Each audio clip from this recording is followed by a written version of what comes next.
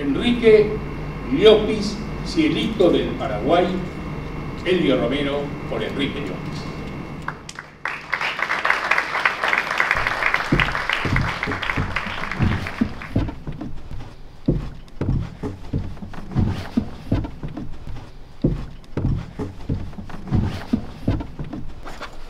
¿Cómo va? ¿Cómo va? ¿Cómo va, don Gato? ¿Y vos? Bien. Todo bien.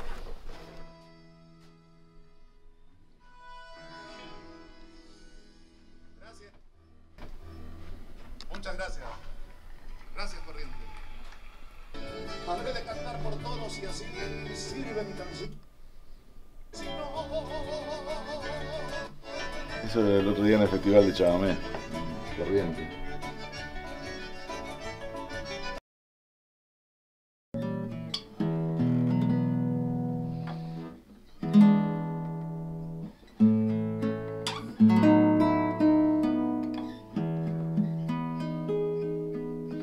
Cuando quieras, ¿eh?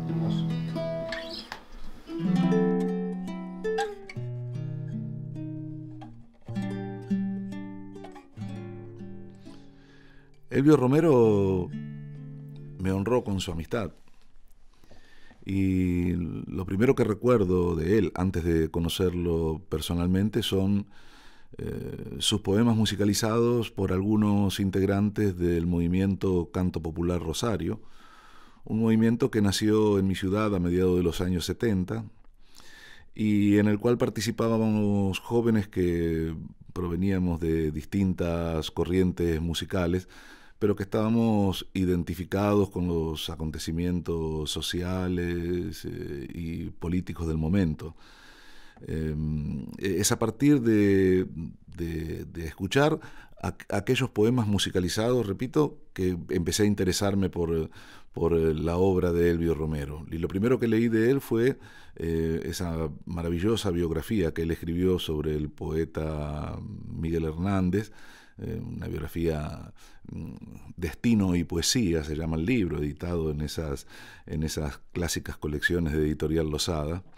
Y después, por supuesto, leí y releí sus, poemarios, intentando siempre musicalizar algunas de- algunos de esos poemas, pero en realidad me resultaban no solo difícil, sino que eh, eran poemas que, que estaban escritos más para ser leídos, para ser eh, recitados, dichos en voz alta, que para ser eh, musicalizados.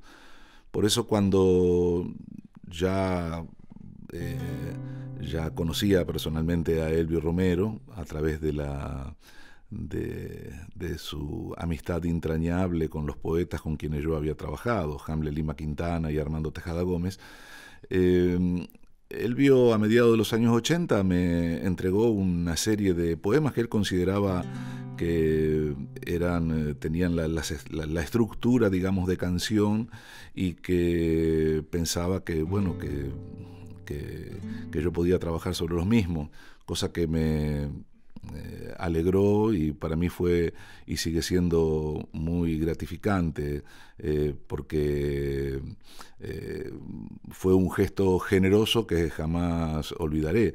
Y recuerdo que el trabajo me atrapó días y noches leyendo, releyendo su obra eh, y no paré hasta completar lo que hoy, eh, hoy ha salido ya como, eh, como la obra Cielito del Paraguay, ¿no es cierto? Que reúne justamente todas aquellas canciones eh, que me permitió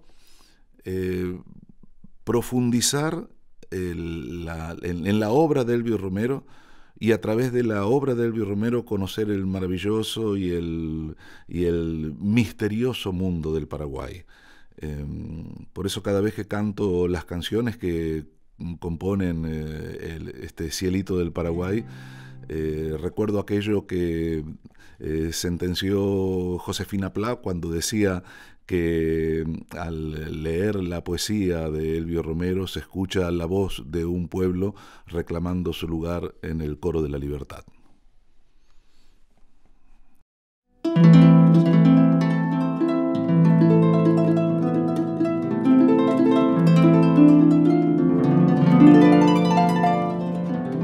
Cielito, cielo y más cielo, cielito de andar y andar, cielito de mi desvelo, cielito del Paraguay.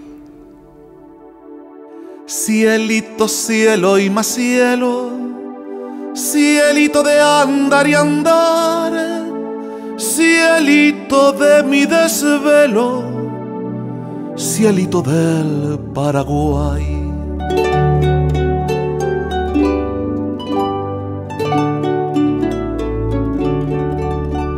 Al verla venir el cielo se abrió. Pregunté su nombre, me dijo que no. Si a dónde vivía y me lo negó. Le acerqué una rosa y un clavel punzó. Le miré a los ojos. Me dijo que no. Cielito, cielo y más cielo. Cielito de andar y andar cielito de mi desvelo, cielito del Paraguay.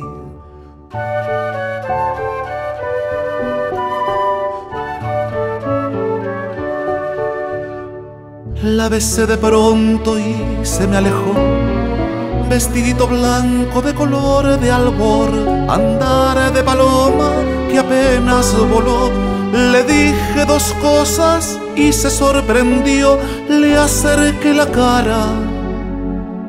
Me dijo que no, cielito cielo que sí, cielito cielo que no, cielo de una luna esquiva que una noche me alumbró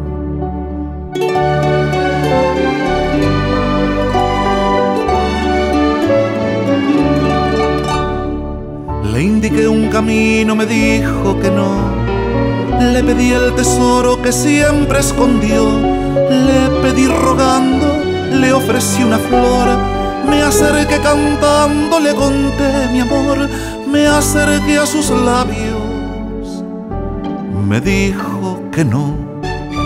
Cielito de mis amores, de mis horas de cantar cielo de siete colores, cielito del Paraguay, cielito cielo que sí, cielito cielo que no, cielo de una luna esquiva que una noche me alumbró, cielito cielo y más cielo, cielito de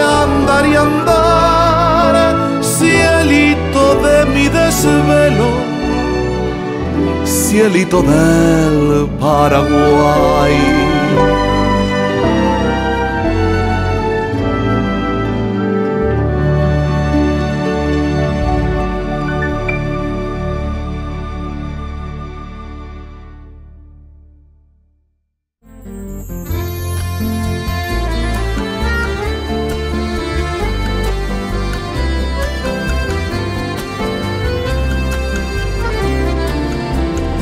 pasando por una calle, te contemplé en tu amaquero, chiquita como un jilguero, pequeño lirio del valle. Tus ojos bajo esas cejas son un resol mañanero, dos diamantes entre rejas, dos joyas en su alajero, palomita, mi lucero, por las noches cántame, cántame como yo quiero.